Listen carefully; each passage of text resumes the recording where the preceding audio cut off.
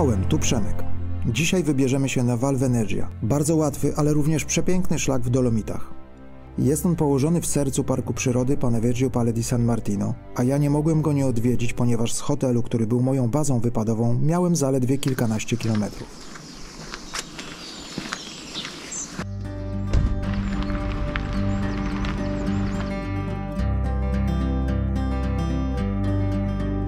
Podróżując krętymi i lesistymi drogami, co chwilę mogłem podziwiać przepięknie budzące się do życia szczyty Dolomitów. Trzeba przyznać, że wszystko to robiło wspaniałe wrażenie. Po krótkiej podróży dotarłem do pustego parkingu i na spokojnie mogłem ruszyć na szlak.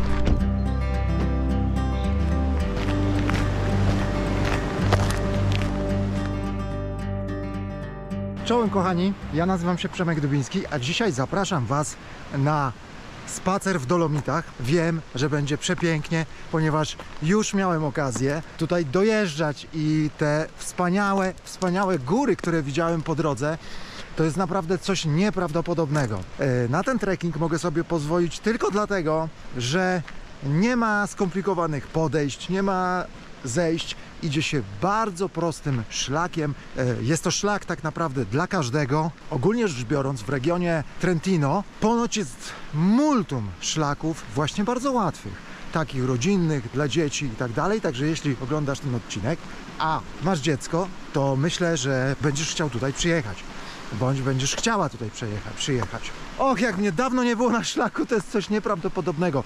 Półtora miesiąca? Nie, nawet dwa miesiące już od tej kontuzji. Cały czas czekam na wyznaczoną wizytę, jestem po rezonansie. No i co? No i będziemy się leczyć i tęsknić strasznie, bo Myślałem, że nie będzie mi tego brakowało, a tak naprawdę, kiedy tutaj jechałem tymi drogami i już widziałem te góry i wiedziałem, no, że będę w stanie inaczej, że będę sobie, no słyszycie tą rzekę? No, zobaczcie.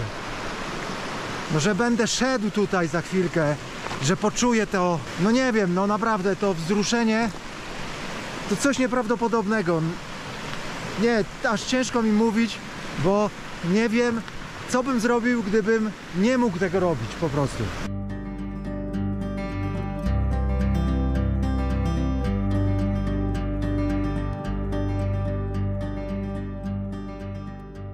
Po pierwszym odcinku w lesie szlak otwiera się szeroko i można podziwiać panoramiczny widok na dolinę, która poprzecinana jest strumieniami, a także na Pale di San Martino.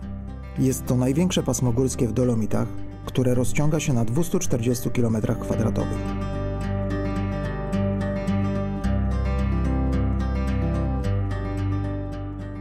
Pierwsza górska chata, którą spotkacie, to Malga Venezia, położona na 1764 metrze nad poziomem morza. To tutaj wędrowcy często zatrzymują się na przerwę po powrocie z dalszych wypraw, albo jest to również główny cel dla tych, którzy chcą zjeść lunch w otoczeniu zielonych łąk i wspaniałego widoku na Pale di San Martino. Ponoć oferowane menu jest typowe dla schroniska wysokogórskiego. Nie znajdziecie zatem tutaj wyszukanych dań, ale są to doskonałe przysmaki kuchni Trentino, takie jak polenta z grzybami, grillowany ser czy kiełbasa. W okolicy schroniska można zatrzymać się, odpocząć i podziwiać wspaniałą panoramę niejednokrotnie w towarzystwie alpejskich krów.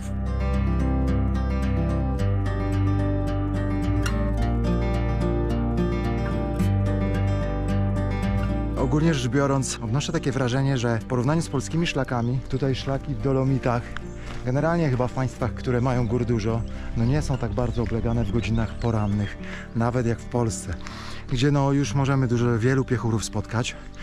Natomiast no, no mamy późno, bo jest godzina chyba 6.30 i spotkałem dosłownie dwie osoby.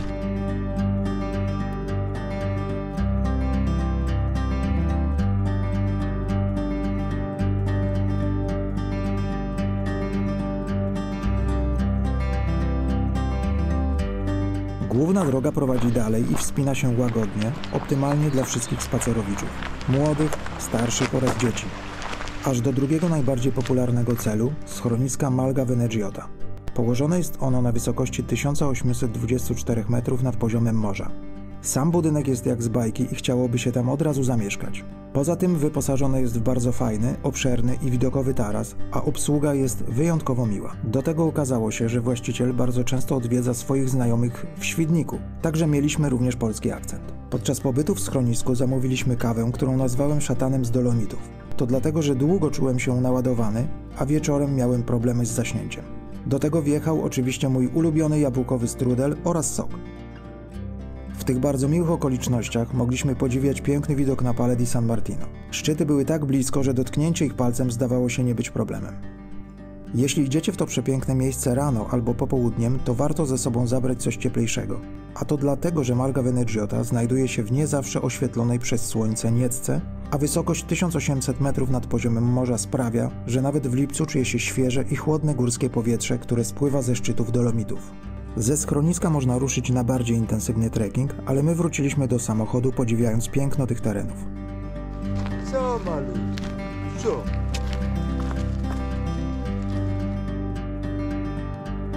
Na tym kończę dzisiejszy odcinek. My widzimy się w kolejnym i pamiętajcie, nie siedźcie w domu, tylko idźcie w góry.